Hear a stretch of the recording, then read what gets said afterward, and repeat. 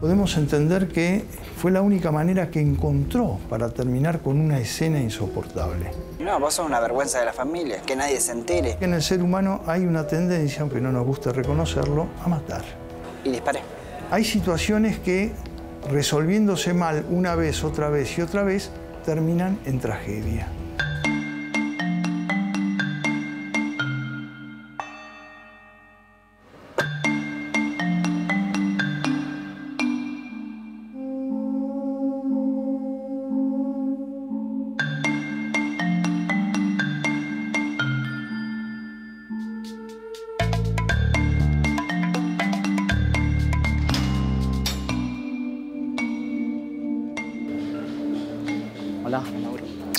¿Cómo te llamas?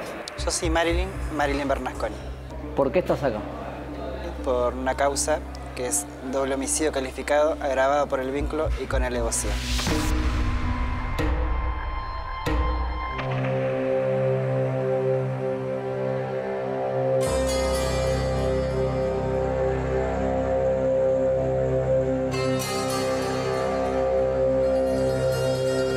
Yo vivía en un campo que queda a las afueras de La Plata, cerca de Bransen y cerca de Magdalena. Babio. Babio, Bartolomé Babio, un pueblito de pocas personas, un pueblito de campo, a las afueras de ese pueblito. Una casa.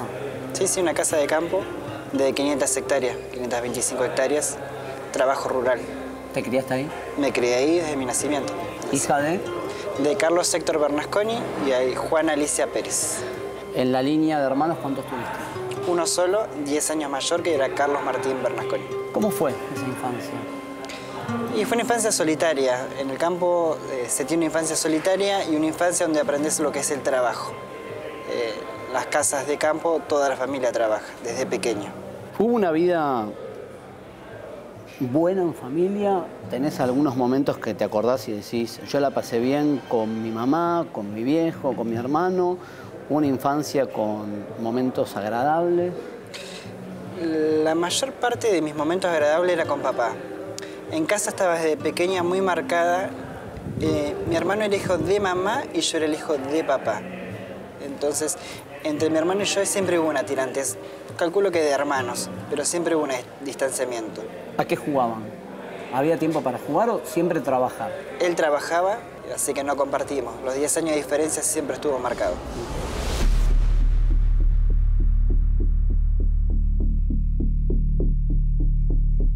¿Cómo era un día tuyo? Me levantaba a las 5 de la mañana, eh, ordeñaba vacas a mano, un tambito de 10 vacas. Y eso más que nada, el fuerte de mi trabajo fue a los 17 cuando falleció papá, ¿Tu papá muere cuando vos tenías 17? cuando yo tenía 17. ¿De qué se murió? Él tenía cáncer de colon y la muerte de él, en primer momento no la acepté. ¿Había maltrato? ¿En algún momento te sentiste maltratada por tu mamá? Desde chiquita, en el caso de mamá, desde chiquita, eh, siempre ese desprecio, eh, eh, maltrato, retos por todo. Era una mujer ¿Violenta? agres- sí, agresiva. Agresiva. Y estuve agachando la cabeza casi dos años. ¿Dos? Dos años. ¿Por qué marcas dos años?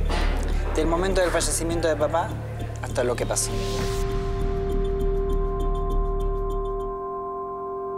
¿Y qué pasó en esos dos años?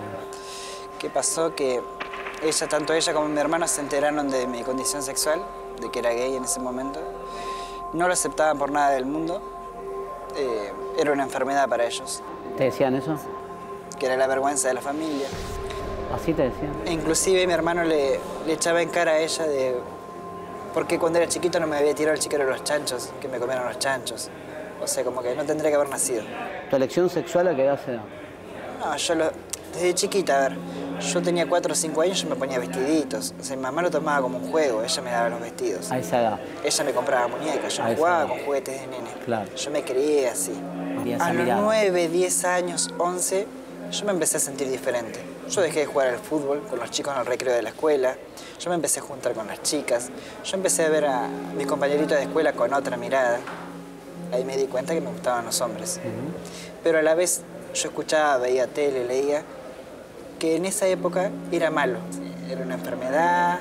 Yo me tenía que hacer macho como fuera ¿Ejemplo? la fuerza. Eh, la forma de- del pelo, tenía que tener el pelo cortito, las uñas bien cortadas, la forma de vestirme. Ella, por ejemplo, tenía la creencia de que ponerse una bermuda era de puto. Ponerse una bermuda. El hombre que usaba era- bermuda era puto. O el hombre que usaba sandalias era puto. Cosas así bien rigurosas. ¿Y qué O quería de vos? Pantalón largo, pelo cortito, al loco. Como el estilo militar. Sí.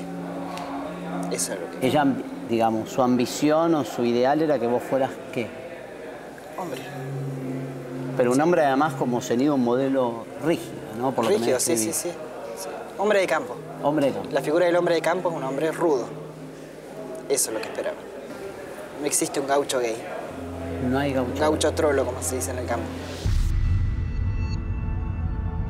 Bueno, y tu mamá empieza con castigos corporales, ¿llegó? Sí, sí, cachetadas, golpizas. Muchas veces me agarró con un palo. Sí, ¿Ya habías tenido una relación con algún chico? sí, sí. sí, sí. ¿Desde qué edad? A los 12 fue mi primera vez. ¿Con un chico de campo también? Sí, sí, sí. Compañeros de escuela. Le dije, mira, papá, yo te quiero contar algo. Me están gustando los hombres. Me dijo que él lo había notado desde siempre, eh, que no iba a pasar nada, que no iba a cambiar en nada. Y a partir de ahí, como que, como que él siempre estuvo esperando que yo se lo contara. Afianzó más nuestra relación.